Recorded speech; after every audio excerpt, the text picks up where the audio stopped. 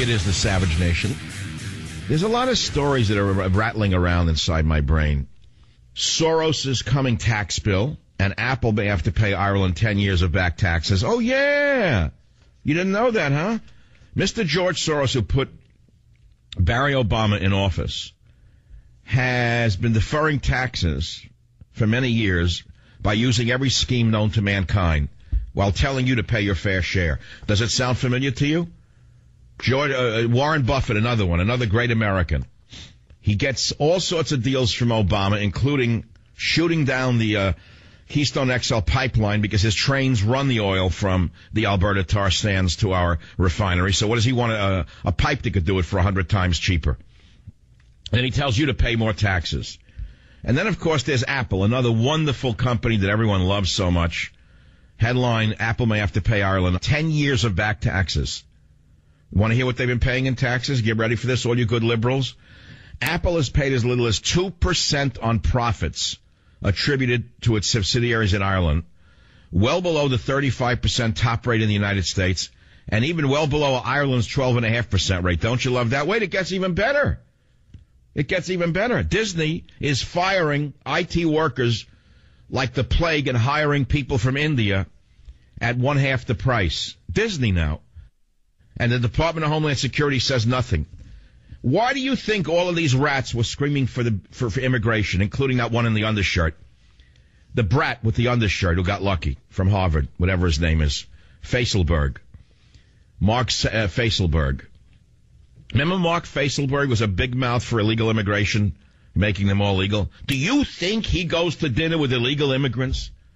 Do you think he washes the feet of illegal aliens from Tijuana like Nancy Pelosi does? He wanted H-1B visas to lower his costs.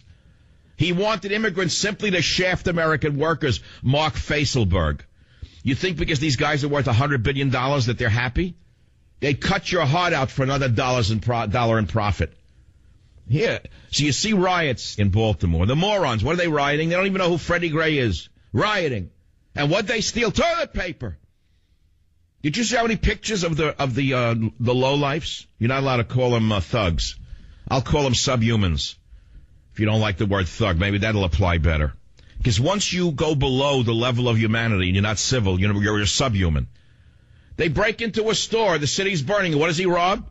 a, a jar of mouthwash and toilet paper. My dog's looking at me like I'm crazy. I'm not making this up, Teddy. Human beings are insane. They burn a city to the ground to rob toilet paper out of CVS with a jug of mouthwash. And the store is burnt to the ground. Then they'll complain that Whitey didn't rebuild the city fast enough for them. A minority city, they'll say that the whites caused them to burn the city to the ground, and they want more money to rebuild it so they can burn it to the ground again. It's a crazy world out there. Now, now couple the guy robbing toilet paper after the Baltimore riots. Toilet paper, I swear to you. Uh, well, okay, it was eight rolls of paper. You could see it was worth burning a building to the ground for that. It wasn't just one one roll of toilet paper that the uh, the uh, wonderful citizen of Baltimore stole as CVS had burnt. It was eight to twelve. It was a twelve pack, along with mouthwash. On one side, you have the idiot robbing toilet paper after burning a city down, doesn't work for a living, lives on welfare, probably deals drugs on the side. And here's another story. Sales of $100 million homes rise to record worldwide. It was the best of times. It was the worst of times. I've never seen anything like the disparity. So you say, what's the answer? To take the rich and eat the rich and give the money to the guy who robs toilet paper? No, the answer is to make the guy who robs toilet paper clean the gutter. That's the answer. Put them to work in public service jobs, cleaning their city, rebuilding their city. That's what you do. Here's a headline. Freddie Gray broke neck and van, no evidence injured during arrest. I don't know what to believe. The other prisoner said he was whacking himself around in the van trying to collect some money. Uh, Freddie Gray broke neck and van, no evidence injured during arrest. How do I know what the truth is? Uh, what do I know? Freddie Gray. No, Freddie Gray from Freddie Pink. But already the whole city burnt to the ground because someone didn't even know. All of a sudden, Freddie Gray was, was uh, Savage.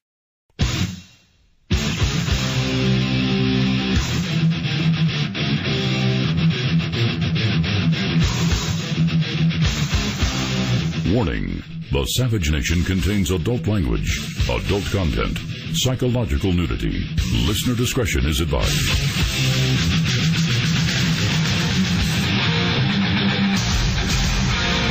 And now, America's most exciting radio talk show, The Savage Nation. Talk radio for the thinking person, home of borders, language, culture. And here he is, Michael Savage. We're also releasing new policies on the military-style equipment that the federal government uh, has in the past provided to state and local law enforcement agencies. And we've seen how militarized gear can sometimes give people a feeling like it was an occupying force as opposed to a force that's part of the community. Those that do not know the history are condemned to repeat it, so I'm giving you a little historical music, the Horst Wessel song of the uh, Nazi Party, uh, as a little background music to the uh, soft-spoken president of the United States of America circa 2014, 2015. Of course he's not a Nazi. Are you crazy? Why there are no concentration camps? Not at all. There are no brown shirts in the streets. Not at all. It's done for, um, let us say, attracting your attention. Then maybe you'll break through the fog of confusion, doubt, and illusion. The illusion created by the grand illusionist Barack Obama. Barack Obama is the greatest illusionist in the history of the presidency. Make no mistake about it, he's a grand illusionist. And instead of screaming in German, he talks softly. And he threatens everyone in the United States of America on a daily basis with his reign of terror while not threatening ISIS. ISIS is taking over one city after another, and he and his sorority are telling us that they don't stay awake worrying about it at night. It's nothing. I want to play a soundbite of the worst almost a monster. Eric Holder was probably one of the most evil men in American history. And I want you to listen to what this demonic man said before he retired, oh, a while ago. Listen to this. One cannot truly understand America without understanding the historical experience of black people in this nation. Simply put, to get to the heart of this country, one must examine its racial soul. Though this nation has proudly thought of itself as a ethnic melting pot, in things racial, we have always been, and we, I believe, continue to be, in too many ways, essentially a nation of cowards. Okay, so we're a nation of cowards because he wants a conversation on race. Well, let's have a conversation on race on the Savage Nation. We've been having a conversation on race ever since Obama triggered Ferguson. We've been having a conversation on race ever since Holder and Obama triggered the burning of Baltimore. We've been having a conversation on race ever since we've seen what this administration is doing and intends to do. So I say let's continue our cowardly discussion of race on the program. And there's no better way to continue this conversation of race, uh, this, this cowardly conversation of race, than to focus on what Obama just did last night. Remember Loretta Lynch? How the Republicans put up a fake fight and said that they're going to oppose her? Well, she's now in there, and I warned you she was worse than Holder. Didn't I tell you she was going to be worse than Holder because she's a woman? She's got a double going for her. She's got a double protexia around her. So now she announces immediately, not that she's going to look into disarming the gangs in the cities, not that she's going to look into the communist front groups that were responsible for all the violence and the terrorism in our streets, but she's going to grant $163 million to these, these thuggish groups. The ACLU is a criminal organization, as you know, with law degrees. They're the cowardly side of the, of the uh, revolution. The ACLU are the cowards who hide behind law degrees they work with the actual street thugs who do the damage. You understand how this works? So she's going to put in new guidelines in cities to teach police how to behave toward the gangs. Now that leads us to the Gestapo is born. Upon becoming Chancellor of Germany, Adolf Hitler had appointed Hermann Goring as Minister of the Interior for the state of Prussia. As Minister of the Interior, Goring thereby had control of the police. That's the Attorney General. She's the, she's the, fundamentally the Minister of the Interior. The Attorney General is our Minister of the Interior. So in Germany, Goring had control of the police. She doesn't have control of our local police because we have a constitution.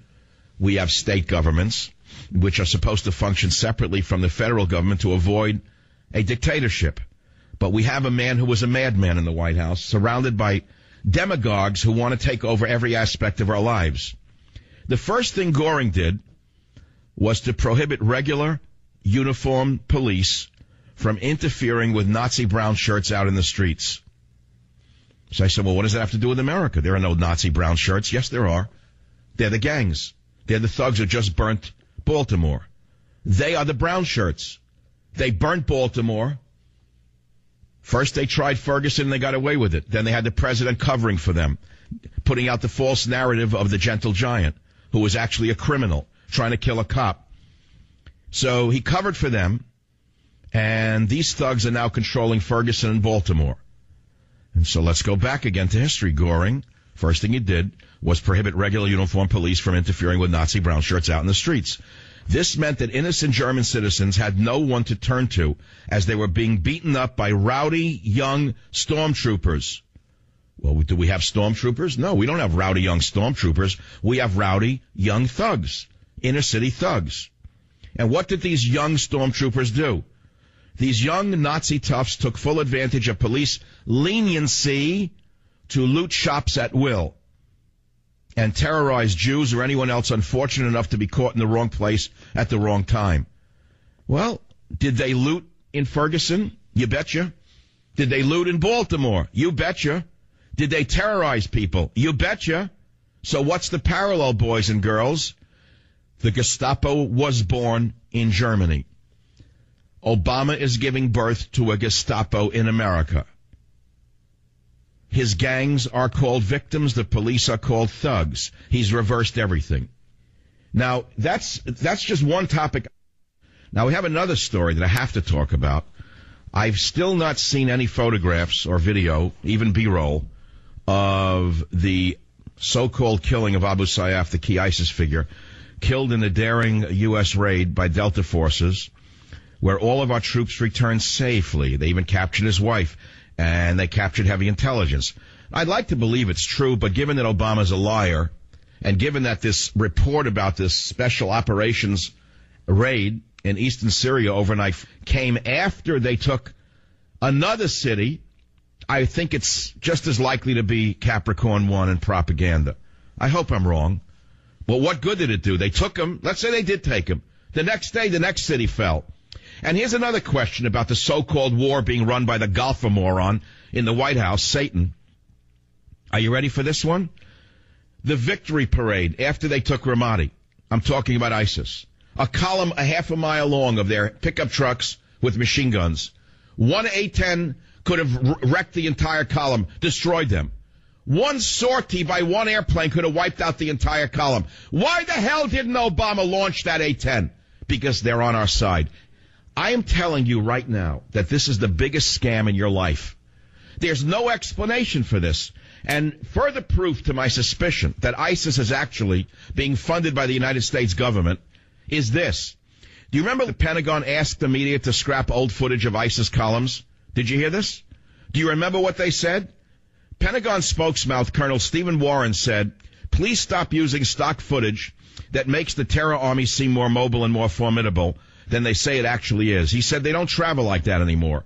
And he said, quote, one Toyota speeding down the road by itself at night with his headlights off would be a more accurate image. Really, Mr. Spokesman, Colonel Stephen Warren. Yesterday I saw a column of Toyotas a half a mile long, and you and your brave air boys did nothing. They were told to stand down the same way they were told to stand down at Benghazi by the. I don't know. I can't say it. I really would like to say what I don't know understand how the Republicans let him get away with it. The answer is because they're the same. Don't you understand there is no Republican Party? There's no Democrat Party. Don't you understand yet that it's a single block of a ruling class and we're the moron serfs?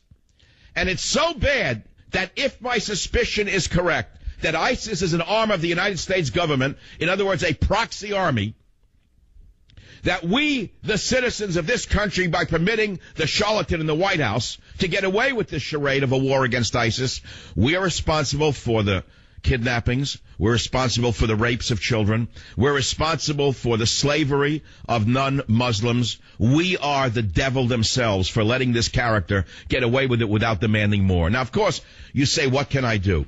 I understand that. You saw that George Staphylococcus is nothing but a paid whore. We understood that from day one. Did he ever look like anything but a paid whore? I mean, you're shocked that he's a paid whore and gave money